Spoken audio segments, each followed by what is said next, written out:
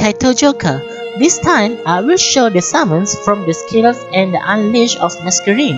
Even though it has already shown from the previous videos, I want to put this as category summons. Also, you can watch my collection of summons from other games on my channel. I hope you guys enjoy watching, leave a like and comment and share with others.